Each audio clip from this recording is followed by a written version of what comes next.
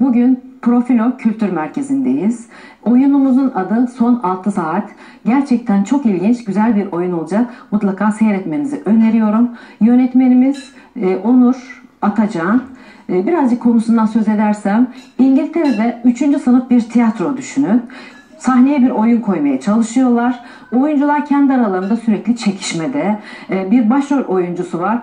Ee, ben okul mezunuyum diye yanına kimseyi yaklaştırmamakta.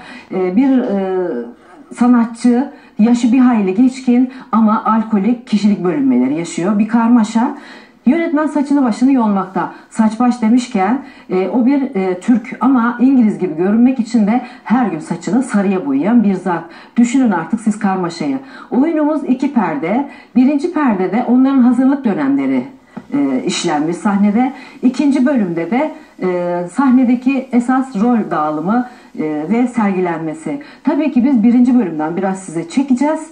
E, görmek isteyen izleyicilerimiz Profilo Kültür Merkezi'ne gelip onları seyredebilir.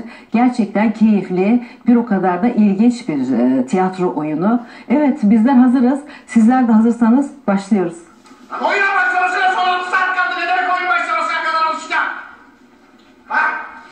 Bak. Sen yine içki mi içtin ha? Ha? İçki mi içtin? Doğru söyle bana. Ben hayatta içki içmem. Ben sana provalarda ve oyun esnasında içki içmeyeceksin demedim de şerefsiz. Yani öğretmenim.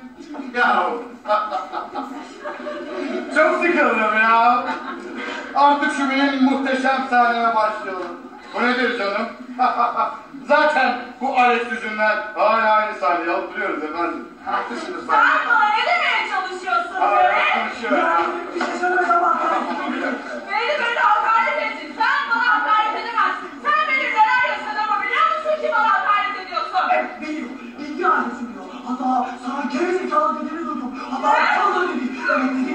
Ama bunlar senin için bir hakaret değil. Hakaret etti ama. Evet dinle. Çünkü bunlar bir küfür. Küfür